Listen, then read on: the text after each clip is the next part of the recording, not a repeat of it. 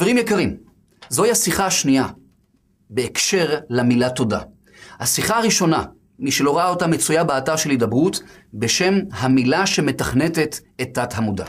התחלנו את השיחה הקודמת בהבטחה, על פי מקורות ועל פי מחקרים, שיש מילה אחת, שאם היא תהפוך בעזרת השם להיות שגורה בפינו, המילה הזאת תשנה את המיקוד במוח שלנו, תחבר אותנו למשאבים, תיצור שינויים בריאותיים של ממש על פי מקורות שנדבר עליהם בשיחה הזו, והתחלנו דווקא בהסבר על פי מקורות ביהדות, שאם נהפוך את המילה הזו לשגורה בפינו בעזרת השם, על פי הבטחת המקור שהראינו בשיחה קודמת, היא תמשוך השפעות גשמיות ורוחניות אל חיינו, וכמו שהבטיחו אותם מקורות, הדבר הזה ישפר בעזרת השם את מעמד הפרנסה שלנו בחיים, כמובן בסבלנות, ללא דחיקת השעה, עם הזמן. דיברנו על המילה תודה, בהסתמך על הפסוק, בואו שעריו בתודה, חצרותיו בתהילה, אומר הזוהר הקדוש, שאדם שרוצה להיכנס בשעריו של הקדוש ברוך הוא, בשערי הפרנסה, הברכה, ההגנה והשמירה, אריכות הימים ועוד ועוד, המפתח להיכנס באותם שערים היא בעצם המילה תודה, זהו המפתח לפתיחת כל השערים, זה בעצם מעין תפילה. כשאדם אומר את המילה תודה בורא עולם, זו מעין תפילה שמבטיח הזוהר הקדוש שאין מקטרג שיכול לעצור אותה מלהגיע למקומה ומשם להחזיר אלינו שפע שיתלבש בחיינו בברכה, בשפע, בבריאות וכולי וכולי. הבאנו שאלה מן המקורות, איך זה שייתכן שבורא עולם, שהוא גם אבינו וגם מלכנו, הוא גם רוצה להשפיע וגם יכול להשפיע, איך ייתכן שאבינו מלכנו לא משפיע עלינו כאלה השפעות גדולות, הרבה יותר ממה שאנחנו רואים כרגע בעינינו במציאות? הקושייה הבאה מתוך אותן מקורות, הבאנו את התירוץ והוכחנו באותה שיחה, שאם המילה תודה תהפוך לשגורה בפינו, ועל ידי שימוש יומיומי ותדיר במילה הזו, נוכל לקחת את המוח ולשנות את זווית הראייה שלו ממובן מאליו אל זווית ראייה אחרת שקוראים לה נקודת האפס, או בלשון המקורות, הקצה האחרון, ומזווית ראייה כזו של ערום יצאתי מבטן אמי. ומצד מעשיי באמת לא מגיע לי אפילו לא, לא לחמצה ומים לחץ, לא מגיע לי כלום מצד מעשיי. ופתאום אני פוקח את עיניי ורואה שיש בחיי, ברוך השם, גרביים ונעליים ובגדים וחולצות וספות וחפצים ונכסים הרבה ומזגן ורכב ואנשים שסובבים אותי, וכל זה חסד חינם ממש ולא מצד מה שמגיע לי. מיד, אם אוחזים בזווית ראייה הזו, הלב מתעורר להכרת תודה, לפרץ של רגשות של תודה והודאה. וממילא אדם כזה שאוחז באותה זווית, כל השפעה שישפיעו עליו מן השמיים לא תזיק לו.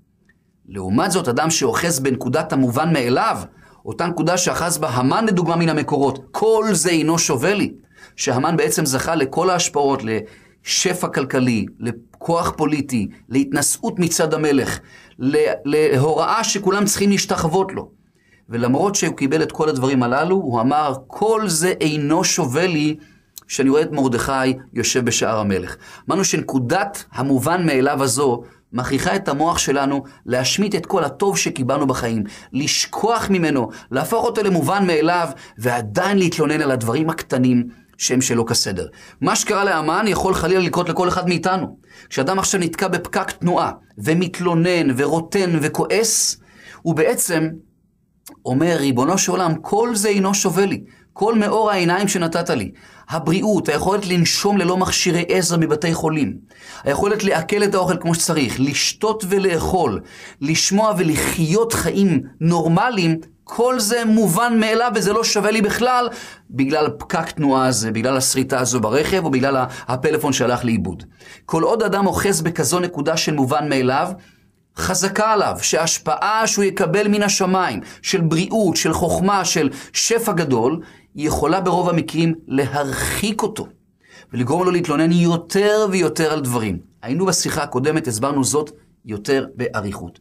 אדם שאוחז בזווית הראייה בתודעה שלו, בקצה האחרון, בנקודת האפס, הבטיחו המקורות שעליו לא נאמר יש עושר שמור לבעליו לרעתו, אלא אצלו, ככל שיקבל יותר חוכמה ויותר השפעות, הוא יותר יתפרץ ברגשות של תודה והודאה, ויותר יזכה לחקוק ענווה בתת ההכרה שלו בעקבות המילה תודה, ויותר יתקרב למקור ההשפעות. וכאן אני רוצה לדבר על מסלול נוסף ביהדות, שמסביר למה הכוח של המילה תודה יכול ממש לבטל חוקים רוחניים חוקי טבע רוחניים שטבע בורא עולם בבריאה, המילה תודה, כשאומרים אותה כמו שצריך, יכולה לבטל אותם לחלוטין, למשוך עלינו השפעות מעבר למה שמגיע לנו על פי מקורות, לשפר את מצבנו הבריאותי, ממש השפעות ביוכימיות וביולוגית בגוף שלנו, בגלל אמירה של אותה מילה שהופכת להיות שגורה בפינו. בואו נתחיל דווקא בהשפעה של המילה הזו על מערכת הבריאות שלנו.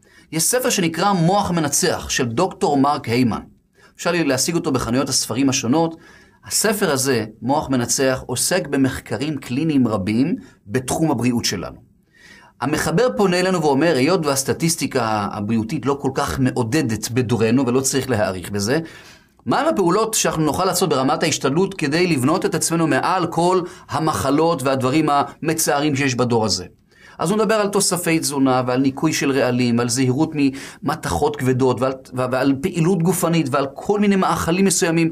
באמת דברים שמי שיסתכל בספר כדאי מאוד להתחיל ליישם, אבל מאוד מאוד קשה ליישם את כל הדברים שהוא מדבר עליהם שם בספר. אבל בכל אופן, בסוף הספר יש איזשהו קטע מאוד מעודד ומאיר עיניים. בסוף הספר מביא המחבר, דוקטור מרק היימן, ציטוט מאחד מכתבי העת המכובדים בעולם, שחקר את הסיבות למחלות השונות. והמסקנה של אותו כתב עת בספר הזה, ועוד הרבה כתבי עת נוספים בספרים אחרים שיצא לי לראות, שהסיבה העיקרית לרוב המחלות שיש בעולם, היא סיבה שקשורה דווקא למנטליות שלנו, סיבה שקשורה לתפיסה של האדם בלשון שהוא מדבר שם במחקרים. מה הכוונה לתפיסה של האדם? במה הוא מתמקד בחיים שלו. הוא כותב שם ראיית חצי הכוס הריקה, או ראיית חצי הכוס המלאה. כך שאם אני מתעסק בעבודת התודה הזו, מתמקד בחצי הכוס המלאה, כשאני אומר למשל את המילה תודה ריבונו של עולם ומתחיל להודות ולשבח את מה שכן יש לי בחיים וכולי, המוח שלי בעצם פתאום מתמקד בעקבות השימוש במילה הזו במה שיש, בקיים, בחסדים, ובכמה אני בר מזל. באותו רגע המוח משמיט את הדברים המצערים, ומחבר אותנו לרגשות חיוביים. אפילו כשאדם נמצא עכשיו בצער, אם הוא יושב שנייה אחת, מתחיל להתמקד מנקודת האפס, אחרי ההבנה שלא מגיע לו כלום באמת מצד מעשיו. יפקח את עיניו ופתאום יראה שיש לו כל כך הרבה דברים טובים מסביבו. ויתחיל בפה מלא, בכוונה מלאה, להתחיל להודות על אותם דברים, הוא יראה שהמוח שלו באופן אוטומטי לאט לאט משנה מיקוד, משמיט דברים מצערים ומתחבר לרגשות חיוביים. הפעולה הזו, כמו שמסביר מרק היימן ועוד הרבה ספרי בריאות נוספים, תשפיע באופן דרמטי על תפקוד מערכת החיסון, על ייצור של כדוריות דם לבנות, על המרצה של מערכת החיסון ותפקודים ביולוגיים ביוכימיים נוספים, שהדבר הזה ישפר את רקמות, תפקוד המוח, תפקוד הלב, זרימת הדם ועוד כל כך הרבה דברים שהוא ועוד הרבה ספרי בריאות מדברים עליהם. היום בכלל יש איזשהו תחום מדעי מיוחד שנקרא פסיכונירו-אימונולוגיה. פסיכונירו-אימונולוגיה. זה איזשהו תחום מדעי שכל מטרתו להוכיח איך המחשבות והמיקוד שלנו במוח משפיעים על תפקוד מערכת החיסון שלנו ועל תפקודים פיזיולוגיים נוספים. התחום המדעי הזה מראה, כשאדם יושב ונזכר בזיכרונות חיוביים, בזיכרונות משמחים, הוא נזכר במה שיש לו להודות בחיים, איך הפעולות הללו, איך שינוי המיקוד הזה משפיע ממש באופן מאוד משמעותי על תפקודי מערכת החיסון וכולי וכולי. על פי מקורות, המילה הזו תבטל חוקים רוחניים של ממש. למשל, בעל השפת אמת, האדמו"ר מגור, דאז זכר צדיק לברכה, כותב שאלה חזקה מאוד. בידוע שיש חוק בבריאה שאומר ששלושה דברים נקנים באיסורים. עולם הבא, התורה וארץ ישראל. אלה דברים שחייבים לקנות אותם באיסורים, וזה איזשהו חוק אמיתי. בואו נסתכל עכשיו על ארץ ישראל. כמה איסורים סבל העם היהודי לפני שהוא זכה להיכנס לארץ ישראל? לא רק המעל שישה מיליון יהודים שנטבחו לפני הכניסה לארץ ישראל לצערנו, שלא נדבר על מה שקרה עוד לפני כן באלפי שנות גלות, וגם היום יש לנו את ארץ ישראל במרכאות. הרבה מאוד חלקים שייכים לארץ ישראל עדיין לא בידינו, וגם מה שבידינו הוא באיסורים, וכמה אלמנות וכמה יתומים וכמה אנשים נהרגו בשנים האחרונות, בעשרות שנים האחרונות, בגלל המלחמה על ארץ ישראל, ישראל נקנית באיסורים. אבל מקשה הרבי מגור, על פי התוכנית הראשונה שרואים בתורה, על פי התוכנית הראשונה של הקדוש ברוך הוא. רצה הקדוש ברוך הוא להעביר את ישראל רק שלושה ימים במדבר ולהכניס אותם לארץ ישראל. אחר כך היה קלקול מסוים והם עברו בתהליך של 40, 40 שנה במדבר, הרבה מאוד איסורים, אבל בהתחלה התוכנית הראשונה הייתה להעביר אותם שלושה ימים במדבר ומשם ישר לארץ ישראל. שואל בעל השפת אמת הרבי מגור, איך היה עושה את זה הקדוש ברוך הוא? הרי יש חוק בבריאה של ישראל נקנית בייסורים. אז מה כבר אפשר לעשות היה בשלושה ימים?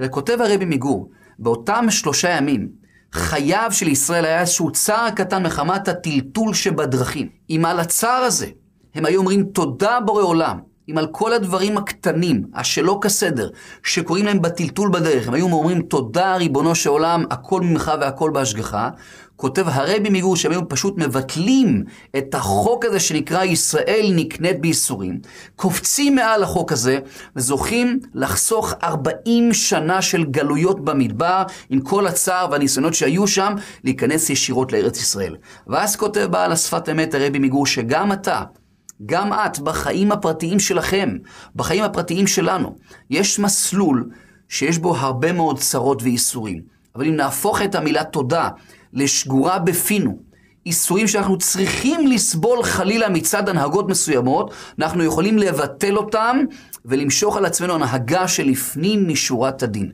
על ידי מה? זה שנתחיל להודות לא רק על מה שקיים, לא רק שנאחז בנקודת האפס ונזכור שבאנו לעולם הזה מרוששים כל, ערום יצאתי מבטן אמי.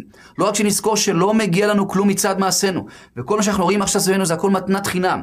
ולא רק שנודה על מה שקיים, אלא להודות לבורא עולם על הדברים הקטנים המצערים אותנו, על השלא כסדר, על הפקק תנועה, על החום שעכשיו אתה סובל, על כל מיני דברים לא נעימים, לומר להם תודה בורא עולם, שאלה יהיו הצרות שלנו, תודה רבה, הכל בהשגחה, אין שום דבר מובן מאליו, תודה לפחות על מה שיש. הדברים הללו בכוחם, כותב הרבי מגור, בחיים הפרטיים של כל אחד מאיתנו, לבטל הרבה מאוד גזרות ואיסורים מצד ההנהגה ולהקל עלינו את הדרך. שואל הרבי מסלונים, מה כל כך יש במילה הזאת תודה, שיכולה לבטל מהאדם כל כך הרבה צרות? כותב הרבי מסלונים שיש פה איזשהו עיקרון של מידה כנגד מידה. כשאתה אומר תודה לריבונו של עולם, על דברים לא נעימים כביכול שהוא עושה לך. ריבונו של עולם, זה בעצם לא נעים, אבל תודה רבה לך, אני אוהב אותך, הכל בהשגחה, הכל לטובה והכל ממך. בורא עולם מחזיר לו מידה כנגד מידה ואומר לו, בני, אתה אומר תודה על הדברים הלא נעימים שאני כביכול עושה לך, אני גם יקבל ביותר הבנה וסליחה את הדברים הלא נעימים שאתה חוטא כלפיי, כביכול. כך כותב הרבי מסלונים. אתה אומר תודה רבה לריבונו של עולם, מה שלא כסדר. על השלא כסדר שלך כלפיו, הוא גם כן יקבל בהרבה יותר חמלה מהרגיל. לכן כותב הרב אליהו דסלר, בספרו מכתב מאליהו בחלק החמישי בחלק ה', כותב בפירוש שאם אדם מודה לבורא עולם על הדברים הקטנים והלא נעימים שקורים לו בחיים, הוא בעצם בשמיים הופך את הדין לרחמים ומושך על עצמו השפעה וחנינה מעבר למה שמגיע לו מצד הדין, ממקום שנקרא אוצר מתנת חינם. עוד כתוב בספרים על העיקרון, בדרך שאדם רוצה ללך, בא מוליכין אותו. זו בעצם גמרא במסכת מכות בדף י'. גמרא אומרת, בדרך שאדם רוצה ללך, בא מוליכין אותו. מי אל המולכין אותו? כותב המהרש"א במקום שהמחשבות של האדם יוצרות ממש מלאכים. ואדם שמתמקד בדברים מסוימים שהוא רוצה, המיקוד הזה יוצר מלאכים, והם, אותם כוחות רוחניים, ייקחו את האדם למקום שבו הוא מתמקד.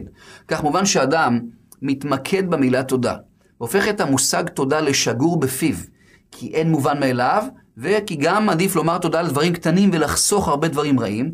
מתקיים בו, מתקיימת בו האמרה של חז"ל, בדרך שאדם רוצה ללך, בא מוליכין אותו. הרי מה קורה למוח שכל הזמן משדר תודה ותודה ותודה? איזה תדרים הוא פולט?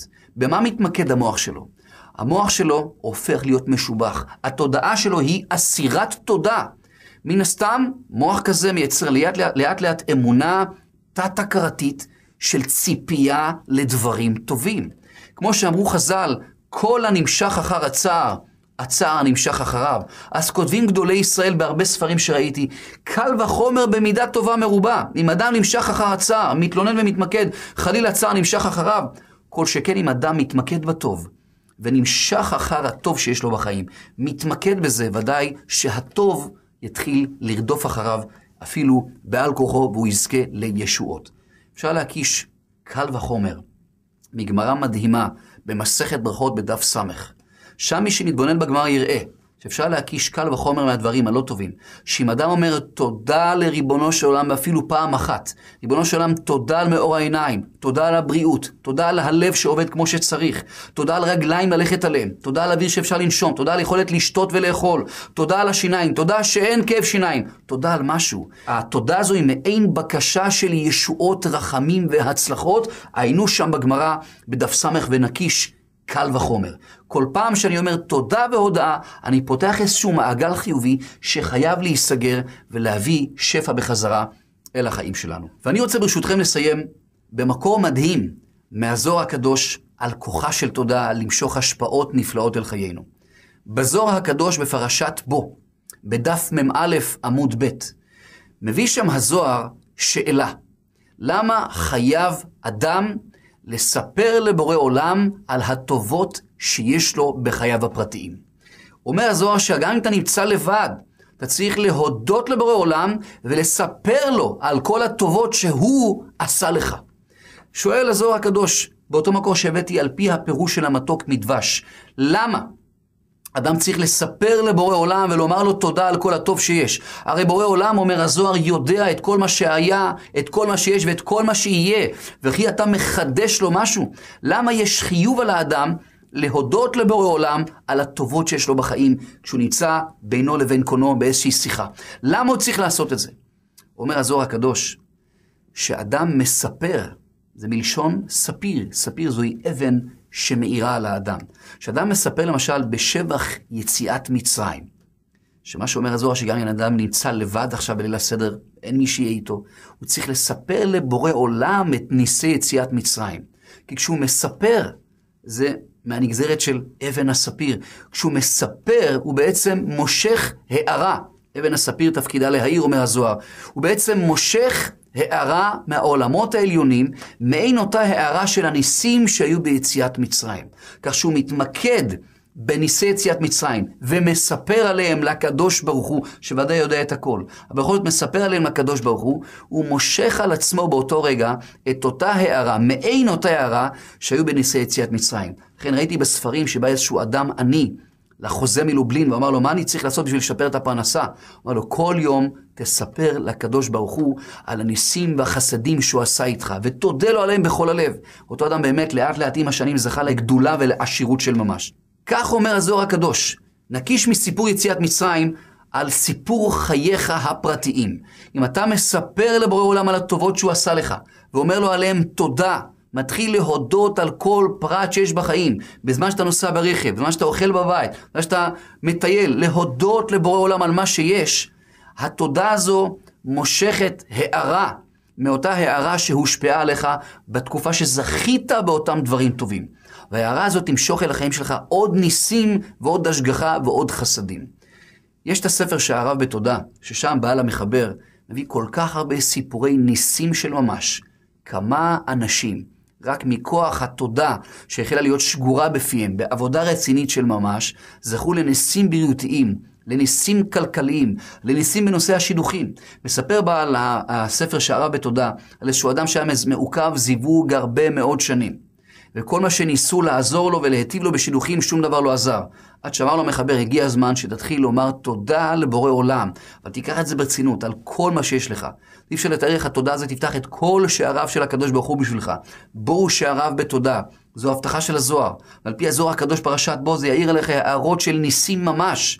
ועל פי בדרך שאדם רוצה ללך במוליכים אותו זה יברא כוחות רוחניים שיחזו לך כפלי כפליים. ועל פי הרבי מסלונים זה יבטל חוקים בבריאה. על פי האדמו"ר מגור זה יקצר תהליכים. כל כך הרבה הבטחות. על פי המקור שהבאנו בשיחה קודמת. זה יעזור לך לגשת בחזרה בתפיסה, בזווית הראייה בתודעה, בנקודת האפס ולמשוך השפעות מעבר למה שמגיע לך. אותו אדם שמע את כל ההצעות האלה. והחל ממש לשנן את עבודת התודה ברמה היומיומית, ותוך שלושה שבועות הוא זכה לשידוך שמעידים שם אנשים, כמו שכתוב בספר, זה היה שידוך ממש, ולפנים, לפנים משורת הדין, שידוך, שידוך מאוד מוצלח. הוא סיפר שם על אדם עני, שכל הזמן היה מתלונן על החובות שלו, והולך ומדבר עם בורא עולם על החובות שלו כל הזמן. אמר לאותו אדם, אותו מחבר, זה באמת טוב, אבל הרבה יותר טוב יהיה אם תלך באותה שיחה שלך עם בעולם, וקודם כל תודה לו בכל הכוח על כל מה שיש לך בחיים, אפילו תודה לו על החובות שיש לך, ותאמר שאתה בטוח שהכל לטובה, אתה רק מצפה לרחמים גדולים יותר. מספר אותו אדם שהוא פגש נגיד עשיר, ואמר לו שהוא מחפש איזשהו אברך, שילמד לעילוי נשמת מישהו, והוא ייתן לו הכנסה של 7,000 שקל כל חודש. וכן יש שם עוד הרבה מאוד סיפורים מדהימים.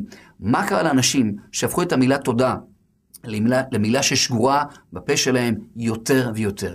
כמה זה משפיע על הבריאות, על מערכת החיסון, על שינוי המיקוד שלנו, על גישה שהופכת להיות מנצחת לחיים, על תכנות של אמונה תת-הכרתית, על המשכה של השפעות, על תריס בפני האיסורים, על הגנה מפני כל מיני הנהגות לא כל כך טובות. כמה מילה כזו יכולה לשנות את החיים. כדי שבעזרת השם נהפוך את המילה הזו, את ההנהגה הזו, לטבע שני אצלנו, אני ממליץ שניקח את העצה של רבי ישראל מסלנט. רבי ישראל מסלנט, בספר תנועת המוסר, מסביר שכדי שאתה תסגל לעצמך מידה מסוימת, אתה צריך לגרום לה לשקוע אצלך בכוחות האפלים שבמוח. היום קוראים לזה מודע ותת מודע. כדי לקחת מידה מסוימת ולהפוך אותה לטבע שני אצלך ולגייס משאבים פנימיים, שזה יבוא ממש מבפנים כטבע שני, אתה צריך לשנן את אותה מידה שינונים רבים. וכך תוך שלושה ארבעה שבועות כל שינון יוצר איזשהו רשימו במוח שלך, בתת המודע, עד שיצטרפו כל הרשמים זה יהפוך ממש למשהו שמאפיין אותך. אתה תהפוך להתגלמות התודה וההודאה. אני ממליץ על משפט פשוט מאוד, שאם נתחיל לשנן אותו היום, בבוקר, בצהריים, בערב, בנסיעה ברכב, בתחנות מסוימות, דקה, שתיים, קצת יותר ממוקד, נהפוך את הדבר הזה לטבע שני אצלנו. משפט פשוט, כל אחד יכול לבחור לעצמו משפט אחר, אבל דוגמה אחת קטנה. ברוך השם, אני מתמקד בטוב ובשפע שבחיי. רגשות התודה מתחזקים ומתעצמים אצלי יותר ויותר תודה.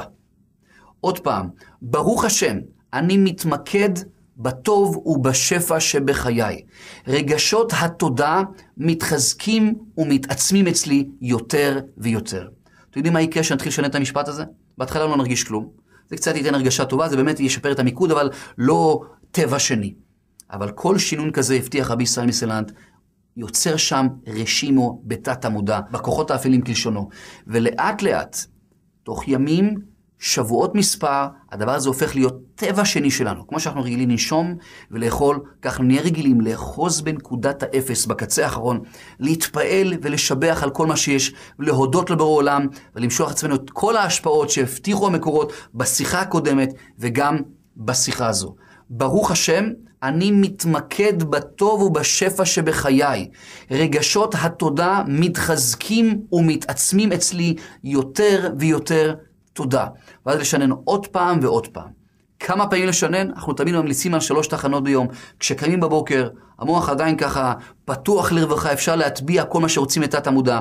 שם דקה או שתיים, אחרי נטילת הידיים, לשנן את המשפט הזה עשרות פעמים, משפט קל וקצר, הוא גם ייתן במיידי הרגשה טובה לפחות. שוב פעם בצהריים באיזשהו מקום בעבודה אפשר להתחיל לפזם את המשפט הזה ולנגן אותו. בזמן הנסיעה ברכב, לשים לעצמנו סימנים שיזכירו את שינון המשפט הזה. לפני השנה כמובן, להתחיל לשנן את המשפט עד שהוא יתחיל לשקוע בעזרת השם בתת המודע שלנו. ההמלצה היא כמובן, שביומיים הראשונים, מהרגע שאתם שומעים את השיחה הזו, לשנן אותו הרבה יותר מהרגיל, אפילו קצת באופן קיצוני, כדי ליצור את הפריצה הראשונה, את הרגילות הראשונה, את השינוי הראשוני בזרם המחשבות, ולאט לאט להתחיל למתן את זה לשלוש פעמים בדקה-שתיים ביום. אז ברוך השם, אני מתמקד בטוב ובשפע שבחיי, רגשות התודה מתחזקים ומתעצמים אצלי יותר ויותר תודה. בשורות טובות ובהצלחה.